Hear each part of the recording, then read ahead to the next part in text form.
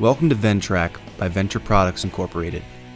This program has been developed to give Ventrac operators basic information to properly and safely operate their Ventrac 3400 model tractors and attachments.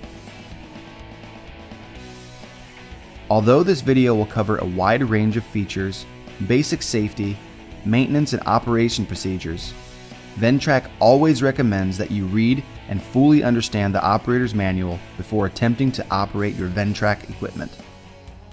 The manual covers items and procedures specific to your equipment, adjustment specifications, types of fluids to use, and maintenance intervals. The operator's manual is located on the back of the seat. See your authorized dealer for determining options and accessories for your tractor. Here's a list of some standard features on your Ventrac 3000 series tractor.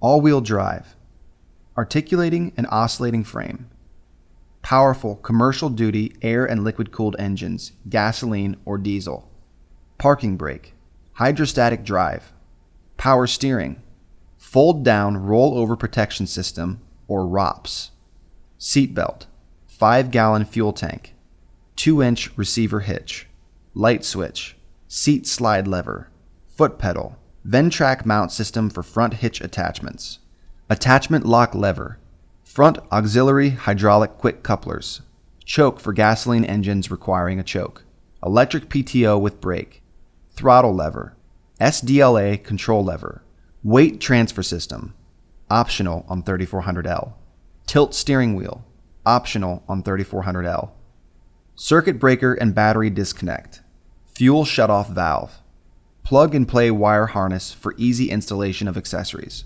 computer controlled onboard diagnostic system to accurately diagnose electrical circuits in real time.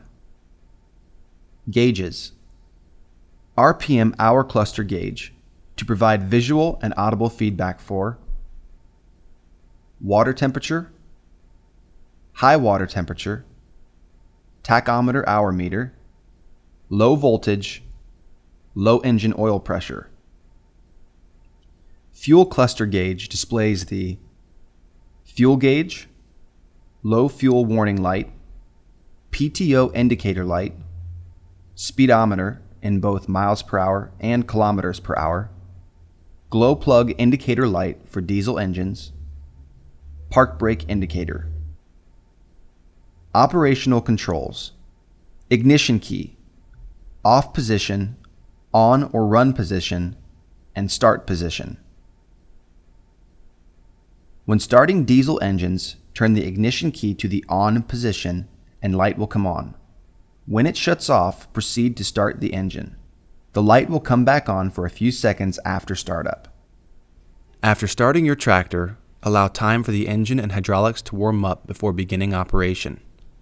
Allow additional time in extremely cold weather throttle lever to set engine RPMs, PTO switch, power takeoff or PTO switch for engaging the electric clutch drive that powers the front mounted attachment, SDLA lever. The SDLA is the primary control for the tractor and consists of two parts. The front taller lever controls the travel speed, direction, and front lift of the tractor. The shorter rear lever controls the auxiliary hydraulic circuit through the front quick couplers.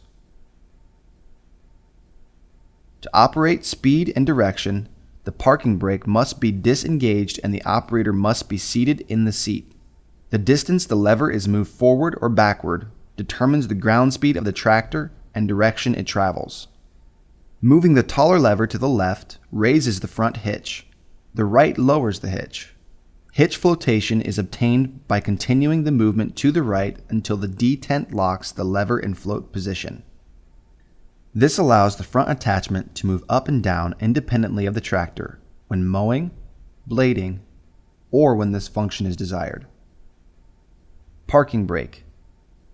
With the parking brake lever engaged, the brake is applied and the SDLA lever is locked out. The brake lever must be in this position when starting the tractor. With the parking brake disengaged and placed in the middle or auto position, the tractor will operate in return to neutral mode. In this mode, when the operator's hand is released from the SDLA lever, the neutral assist spring will help return the SDLA control levers to the neutral position. This is the recommended position when learning the operation of the Ventrac, loading or unloading, attaching and removing attachments, and whenever the operator is working in tight areas or unsure of the tractor's response to the task being performed. With the parking brake disengaged and placed in the off position, the neutral assist spring is disengaged. Moving the SDLA lever forward allows the tractor to be operated in the easy shift mode. This position is often used for operating the tractor in open areas where travel speed and direction are relatively constant and control is easily maintained. Easy shift reduces operator arm fatigue when using an attachment requiring frequent forward and reverse motions for a prolonged period of time, such as when pushing snow. Stopping the power unit with the neutral assist lever in the off position requires the operator to manually return the SDLA control lever or foot pedal to the neutral position. Remember, never leave the seat of the tractor without first engaging the parking brake. Engaging the parking brake locks the SDLA lever so the tractor cannot be moved. If the tractor needs to be moved without the engine running, the hydraulic drive axle needs to have transmission neutral levers activated and the parking brake needs to be moved out of the park position. Transmission neutral levers are located in the midsection of the tractor on the right side. Use extreme care for this allows freewheeling of the tractor when the parking brake is moved out of the park position. Push or tow only for a short distance and at a slow speed. Failure to activate the transmission neutral levers and have the parking brake lever released may cause serious damage to the machine. Attaching. To install the attachment, disengage the attachment locking lever. Lower the tractor front hitch and drive the tractor forward slowly to engage the arms with the attachment hitch arms and raise the hitch until the arms are parallel and complete the engagement. Engage attachment locking lever.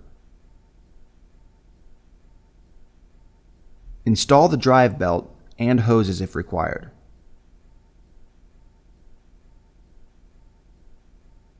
Removing attachment.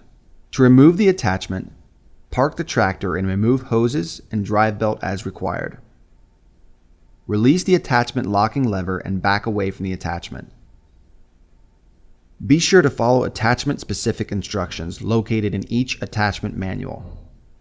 Additional attaching and detaching information will be shown in the attaching video. The weight transfer system allows the operator to transfer a percentage of the front mounted attachment weight onto the tractor. Transferring weight from the attachment to the power unit improves traction, hillside stability, aids in lifting, reduces steering effort, and lessens the attachment resistance movement when in contact with the ground. The position of the weight transfer lever determines the amount of weight being transferred from the front attachment onto the tractor, where 0 is no weight transfer and 3 is maximum weight transfer. To set the amount of weight transfer, fully raise the front hitch to release any tension on the weight transfer spring. Lift the weight transfer lever and place in the desired weight transfer setting. Remember, weight transfer is only functional when the front hitch is in the float position. Selecting the proper amount of weight to transfer depends on the attachment being used, ground conditions, and operator preference. A lightweight attachment such as the LA162 power blower will stay up when in float position with full weight transfer on. With full weight transfer on and mowing in the float position, the mower may not go down quickly enough when cresting a knoll or mowing uneven lawn. Weight transfer must be reduced or speed must be lowered. Using full weight transfer with the slip scoop will allow the tractor to lift more weight. However, down pressure must then be used to lower the scoop when empty. The biggest value of the weight transfer system is best realized when mowing on slopes. With weight transfer, traction, stability, and performance are increased. Fuel shutoff valve to control the flow of fuel to the power unit engine. Turning the valve to position 1 will allow fuel to flow to the engine. Turning the valve to position 0 shuts off fuel flow to prevent fuel leakage when changing fuel filters or servicing the fuel system. Turn off the fuel shutoff valve when transporting the power unit on a truck or trailer and when parking the power unit indoors. Circuit breaker and battery disconnect to control power to the entire electrical system. Turning the switch to position 1 enables the electrical system, allowing for normal use of the power unit. Turning the switch to position 0 disables the electrical system, allowing electrical components to be serviced or for additional safety when storing the power unit. Turn off the electrical system whenever storing the power unit indoors. It is a safe practice to always turn off the electrical system when the tractor is not in use. General operating procedures. The most important task for operating the Ventrac and its attachment in a safe and productive manner is to read and understand the operator's manual and to follow the procedures and recommendations. This video does not replace the operator's manual. The operator's manual must be read and understood prior to use. Before operating the Ventrac, make sure you and the equipment are prepared to work. Follow the daily service checks outlined in your operator's manual or on the decal inside the engine hood.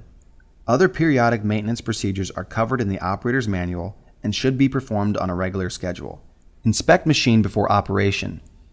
Be sure guards and shields are in good condition and secured in place.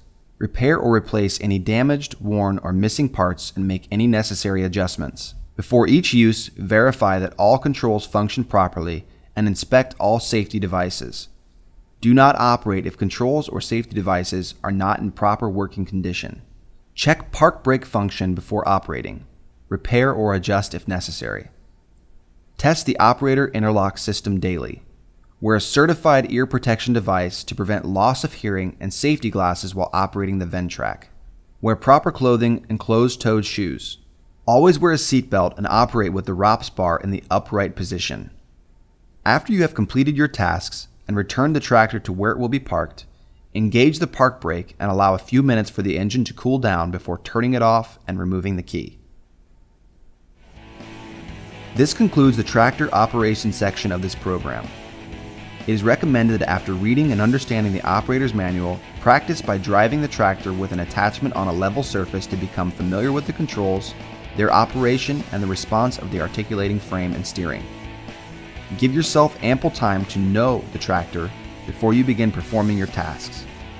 For additional information, technical specifications, or training resource information for all Ventrac equipment, see ventrac.com/support. You have now been given the basics for operating your Ventrac. We trust this program will make your Ventrac experience a safe, enjoyable, and productive one. For more information about Ventrac, see your authorized Ventrac dealer or visit us at ventrac.com. Ventrac your one tractor solution. Watch more of Ventrac in action by clicking on a link below or subscribe to our channel and get the newest video releases.